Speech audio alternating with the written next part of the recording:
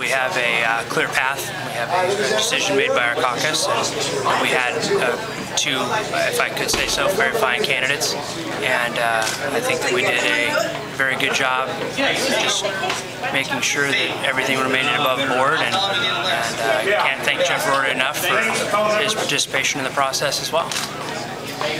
Why do this?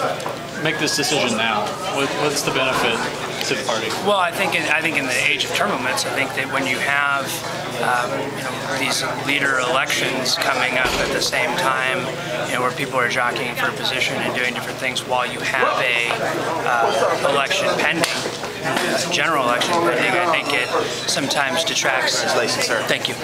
From uh, from you know where you're going in your vision, and it's not necessarily a single focus, uh, just by the sheer mechanics of everything of having a caucus two days later, and so you have that kind of an issue. And I think that uh, you know, it, it, in the age of term limits, a lot of states are starting to look into this, and some states have already moved to it, and it's been successful. And so we've uh, we've adopted that as well. So in short, it's just to to get what could be contentious uh, and distracting, get it out of the way early, settle that discussion so that It, the, it the election absolutely- can, yes. can unfold. It, it absolutely makes sure that your your caucus is united, and I think that in some of the states that have this, you've seen that that they do have uh, less going on inside the caucus itself, and it's more of a, a party unity moving forward, and, and everybody's working towards the same goal. Thank you, sir. Thank you. got it. Appreciate it. That everybody's working towards the same goal, and and that's where uh, where I think that it becomes a benefit, especially when you're talking about know, we have term limits, and that that does hurt. What uh, what was the pitch that you made to your colleagues for why it should be you? Uh, you know, I, I think that the pitch that is that we have a, uh, you know, we have two very strong uh, candidates. We have a uh, election coming up, and we have a ton of seats that are, that are open. We have, you know, 57 seats that are, are now open, and you have that kind of a map. An eight-seat swing is not uh, not unforeseeable, and that uh, you know some of the work that I've been doing, some of the things that I've done for other candidates, that was you know, the, the ability to uh, trust me to make sure I have an open door, that I'm inclusive in the process from all regions of the state. I think is the, the, the main objective there. Okay. How do you think uh, being chairman of, of HDCC helped in, in, in getting to this position? I mean, what, what role does that play in? in Well. I, I don't think it. I don't think it helped or hurt. I think that uh, you have, uh, you know, an election that, that just happened. I, you know, worked while uh, just a member of the caucus. I worked with a lot of these candidates and, and helped them in, in various ways. And uh, I've helped members of the caucus in various ways, as has Jeff. And you know, I think it became just a, an issue of looking forward, what they think.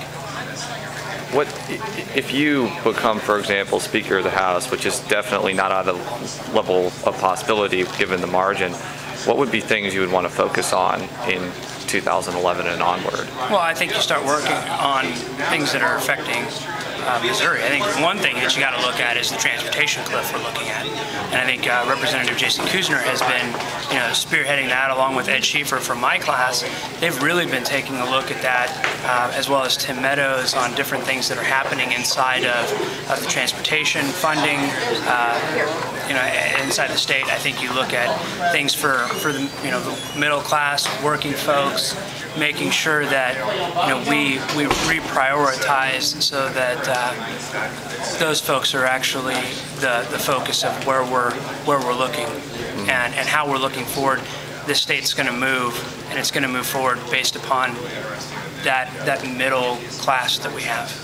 And conversely, it seems like even if the Democrats don't take over, it's going to be so close that the Democrats would have a very big sway in the House. Is it? I've noticed over the last couple years you've never been afraid to engage and you know get in back and forth with Republicans. Does it mean something that you have a leader of the Democratic caucus who can stand strong when you know the margins and votes are going to be closest? Did that also play into the decision making? I, that I don't know. Um, I, I think that both of us that, that we're running can can stand strong as far as that goes. But I, I, know that there are, you know, a lot of things that if, if it is closer and if we don't win, then I definitely want it to be a lot closer.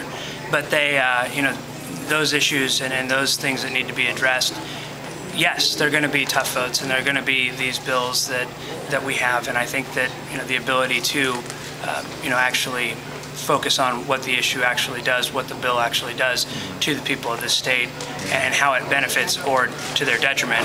I think being able to stand strong in that is a, it's a big deal. And the only other question I have is who from this new freshman class do you think will emerge to, to help you next year? You know, I think there are going to be a lot of them, and uh, there will be probably too many to address on the rest of your battery.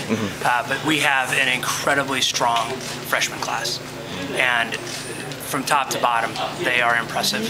Whether you go down from their district number all the way through, I don't think that there is a bad member of our freshman class at all. I think they are all extremely talented, and I'm, I'm very happy to have them in here helping me.